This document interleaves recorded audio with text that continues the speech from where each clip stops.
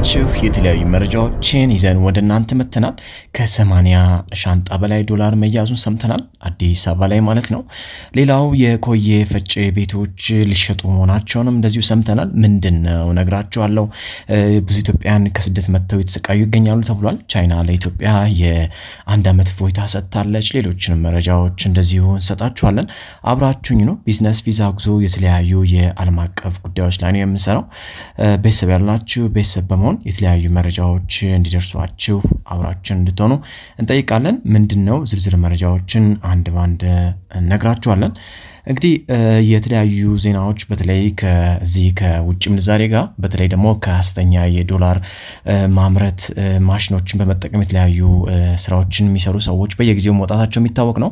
አሁን ላይ እንግዲህ ከሰማንያ ሻንጣ በላይ የሐሰተኛ የአሜሪካን ዶላር አዲስ አበባ ላይ መያዙ ነው የተሰማው።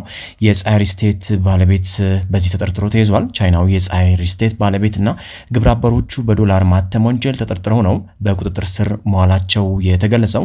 ከዚህም በኋላ እንግዲህ ከትላንትና ቀን ጀምሮ እስከ አመሻሽ ሌሊቱንም እንደዚሁ የተለያዩ ብርበራዎች ሲደረጉ ቆይቷል። ሲኤምሲ የሚገኘው ፀሐይ real estate አፓርትመንት ከቀን ጀምሮ ከፍተኛ ፍተሻ የተደረገ ሲገኝ በብርበራውም ምሽት አካባቢ እንግዲህ እስከ ሌሊት ድረስ በተደረገው ብርበራ የተረጋገጠ ከሰማንያ ሻንጣ በላይ ዶላር መገኘቱን ተገልጿል።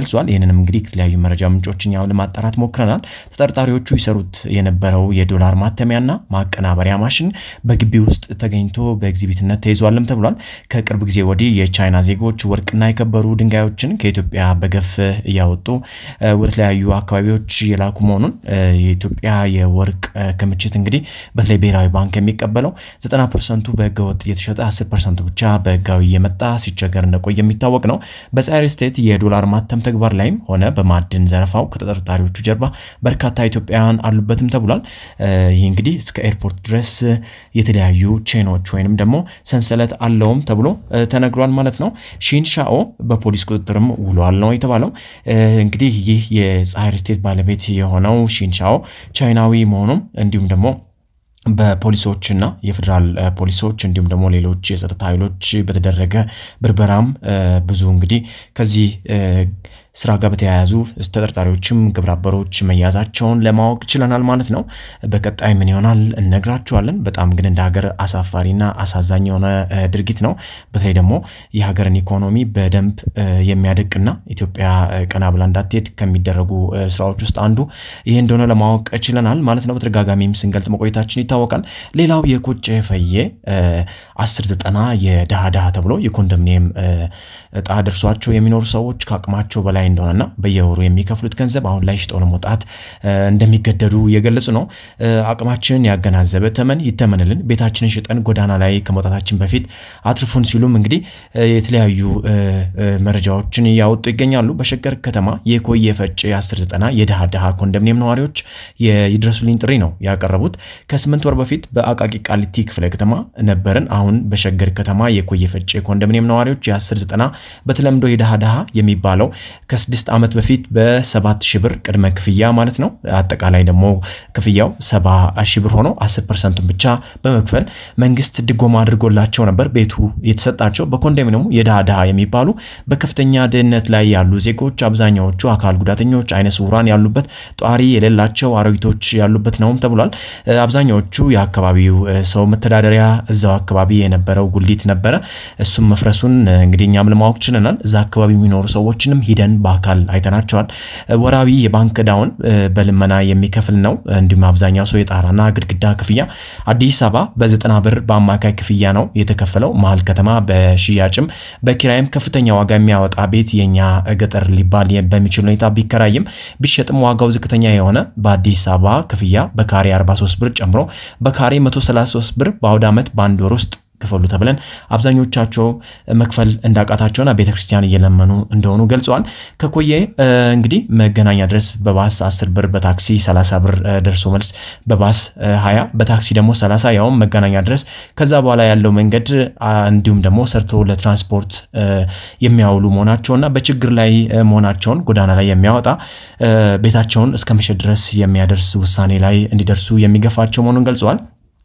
ካሬ ሰባት ሺህ ብር እንግዲህ አጠቃላይ የቤቱ ዋጋ ሰባ ሺህ ብር ነው። አስር ፐርሰንት ደግሞ የከፈሉት ከዚህ በፊት ሰባት ሺህ ብር ሲሆን ከዚህ ጋር ተያይዘው ነው እንግዲህ አሁን ላይ ምንም አይነት ክፍያ መክፈል እንደማይችሉና የመንግስት ያለ አቅማችን ያገናዘበ ተመን ይተምንልን፣ የባንክ ዕዳ ያልጨረስን ዜጎች ቤታችንን አታሽጡን ሲሉ እየጠየቁ ይገኛሉ።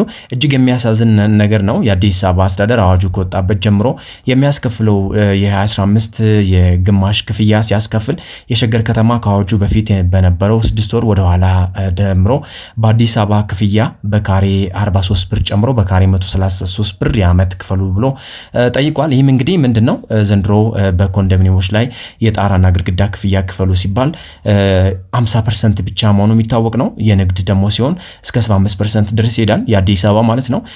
ነገር ግን የኦሮሚያ በተለይ ሸገር ዙሪያ ያሉ ቤቶች ወደኋላ የስድስት ወር ጨምሮ አጠቃላይ 133 ብር የአንዱንም ዓመት ጨምሮ ማለት ነው እያስከፈለ ይገኛል።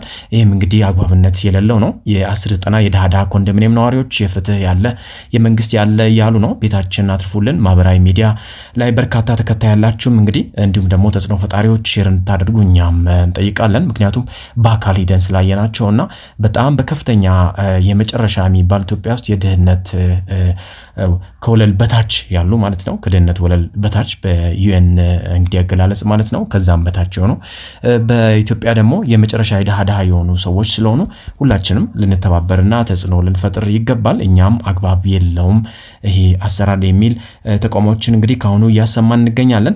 ሌላው እንግዲህ መንግስት የተለያዩ እርዳታዎችን በየጊዜው ሲያገኝ መቆየቱ የሚታወቅ ነው።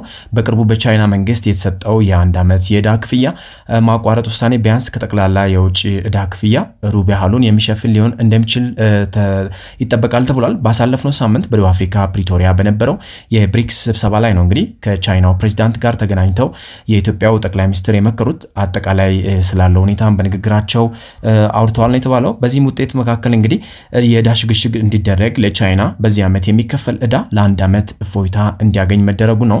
ይህም ትልቅ ውሳኔ ነው ሲሉ እንግዲህ ጠቅላይ ሚኒስትሩ ገልጸዋል። በውሳኔው መሰረት ኢትዮጵያ ከጠቅላላ የውጭ ዕዳ ክፍያዋ ቢያንስ አንድ አራተኛ የሚሆነውን ማዳን እንደሚችል ነው መረጃዎች የገለጹት። ለምሳሌ በጠናቀቀው የ2015 በጀት ዓመት 9 ወራት የከፈለ አጠቃላይ ጠቅላላ የውጭ ዕዳ 1.24 ቢሊዮን ዶላር ውስጥ በመንግስት ዋስትና ከግል አበዳሪዎች እንዲሁም ደግሞ ሌሎችም እንደዚሁ ያለ መንግስት ዋስትና ለተወሰዱ ብድሮች የተከፈለውን ሳይጨምር ነው የቻይና ድርሻ 24 በመቶ ወይም ወደ 300 ሚሊዮን ዶላር የሚጠጋ ነው ተብሏል። በዚህ መሰረት መንግስት ለአንድ ዓመት ያገኘው የዕዳ ክፍያ እፎይታ ትልቅ ትርጉም እንደሚኖረው ነው እንግዲህ ባለሙያዎች እየገለጹ የሚገኙት። ይህም እንግዲህ በዓመት ውስጥ የሚከፈለውን በቢሊየን የሚቆጠረውን 1.4 ቢሊዮን ዶላር ይህንንም እንግዲህ ኢትዮጵያ ልሰራበት እንደምችል በአጠቃላይ አሁን የአንድ ዓመቱን እፎይታ ሌላ ልታውለውና በቀጣይ ልትከፍል እንደምችል ነው አሁን ላይ ያለው ስምምነት የሚገልጸው። ሌላው ደግሞ አሁን ላይ ከሱዳን ወደ ኢትዮጵያ የሚገቡ የተለያዩ ስደተኞች እየተቸገሩ እንደሆነ ሰምተናል። ከሱዳን ተፈናቅሎ የመጡ ኢትዮጵያውያን ለከፋ ችግር መጋለጣቸውን ገልጸዋል። የሱዳን ጦርነት ከተቀሰቀሰበት ጊዜ ጀምሮ ነው ወደ ኢትዮጵያ ገብተው በደባርቅ ከተማ እና በክልሉ የተለያዩ አካባቢዎች የሚገኙ ኢትዮጵያውያን በፌዴራልም ሆነ በክልሉ መንግስት በኩል ምንም አይነት የመጠለያና የምግብ ድጋፍ የተደረገላቸው ባለመሆኑ ለከፋ ችግር ተጋልጧል ሲል የአማራ ክልል አደጋ መከላከልና ምግብ ዋስትና ቢሮ ለአዲስ ማለዳ የገለጸው የአማራ ክልል አደጋ መከላከልና ምግብ ዋስትና የቅድመ ማስጠንቀቂያ ምላሽ ዳይሬክተር ብርሃኑ ዘውዱ በሱዳን ጦርነት ተፈናቅለው ለመጡ የስደት ተመላሾች ድጋፍ የሚያደርገው የፌዴራል መንግስት በመሆኑ በአማራ ክልል በኩል የምግብና መጠለያ ድጋፍ የተደረገላቸው አይደለም ብሏል። ይህም ለከፋ ችግር ዳርጓቸዋል ነው ያሉት። አክለውም በእኛ በኩል በአማራ ክልል በኩል ማለት ነው ከሱዳን ወደ ኢትዮጵያ ሲገቡ ወደ ደባርቅ የሚሄዱ የትራንስፖርት አገልግሎት እንዲመቻች ከማድረግ ውጭ ሌላ ድጋፍ እያደረግን አይደለም። የስራ ዕድል እንዲፈጠርላቸው ለሚመለከተው አካል በተደጋጋሚ ብናመለክትም አጥጋቢ ምላሽ አልተገኘም ሲሉ ገልጸዋል። የሰሜን ጎንደር ዞን አደጋ መከላከልና ምግብ ዋስትና ተጠሪ ጽህፈት ቤት ኃላፊ ሰላም ይሁን ሙላት በበኩላቸው አራት ሺህ የሚደርሱ የሱዳን ስደት ተመላሾች በደባርቅ ከተማ በከፋ ችግር ላይ ወድቀው ይገኛሉ ብለዋል። ወቅቱ ክረምት በመሆኑና መጠለያ ባለመኖሩ በከተማዋ ባሉ ቤቶች ጥግና አስፓልት ዳር ወድቀው እንደሚገኙ ለአዲስ ማለዳ ገልጸዋል። የምግብ እርዳታ የሚያደርግላቸው ባለመኖርም ህጻናትና ሽማግሌዎች በረሃብ ምክንያት ለህማም የተጋለጡ ነው ብለዋል። በሰሜን ጎንደር ዞን ከሱዳን ስደት ተመላሾች በተጨማሪ ከትግራይና ከኦሮሚያ ክልል ተፈናቅለው በደባርቅ ከተማና አካባቢው ከሚገኙ 145981 ተፈናቃዮች እንደነበሩም ተገልጿል። እንግዲህ ኢትዮጵያ ውስጥ አሁን ላይ የተለያዩ የስደተኞች ተፈናቃዮች ቁጥር በየቦታው እየጨመረ ይገኛል። ከኑሮ አንጻርም እንደዚሁ ከባድ ችግር ላይ አገሪቱ እንዳለች ለማየትም ችለናል። ሁሉም ሰው በቀላሉ ሊረዳው የሚችል ጉዳይ ነው። በቀጣይ እንግዲህ የተለያዩ መረጃዎች ሲኖሩ የመጣን ነግራችኋለን። በያላችሁበት መልካም ጊዜ መልካም ቀን ይሁንላችሁ።